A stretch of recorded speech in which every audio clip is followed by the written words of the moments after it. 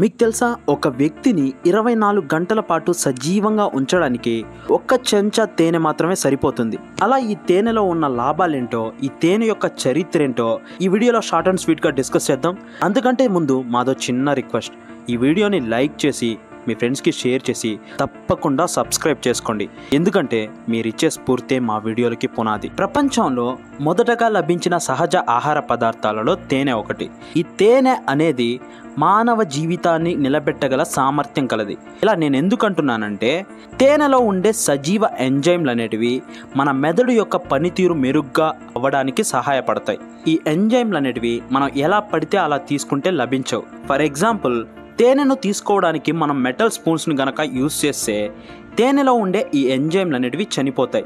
దీనికి బదులుగా వుడ్ స్పూన్స్ని లేదా ప్లాస్టిక్ స్పూన్స్ని ఉపయోగించాలి. అంతేకాకుండా తేనెటీగలు ఉత్పత్తి చేసే ప్రొపోలిస్ అనేది ప్రకృతిలోనే అత్యంత శక్తివంతమైన యాంటీబయోటిక్స్లో ఒకటి. ఒకప్పుడు గొప్ప గొప్ప రాజులు చక్రవర్తులను శవపేటికలలో ఖననం చేసినప్పుడు వారి శవాలు కుళ్ళిపోకుండా ఈ తేనెను పోసేవారట. అలానే ఆఫ్రికాలో ఆహార వనరులు అనేటివి మిగిలిన ఖండాలతో పోల్చుకుంటే చాలా తక్కువ.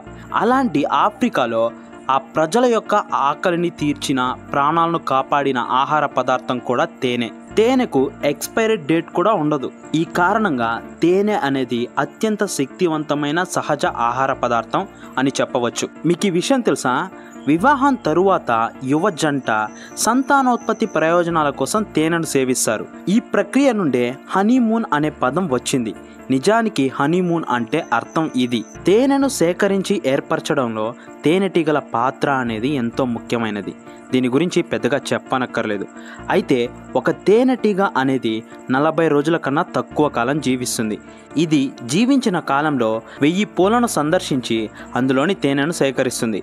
అలా ఇది తన జీవిత కాలంలో ఎంత తేనెను సేకరిస్తుందో తెలుసా? ఒక టేబుల్ స్పూన్ కన్నా తక్కువ తేనెను సేకరిస్తుంది. ఇలా తేనెటీగలు చాలా అంటే చాలా కష్టపడి మనకు తేనెను అందిస్తున్నాయి. సో మీకు ఈ వీడియో నచ్చినట్లయితే లైక్ చేసి మీ ఫ్రెండ్స్కి షేర్ చేసి తప్పకుండా సబ్స్క్రైబ్ చేసుకోండి. జై హింద్.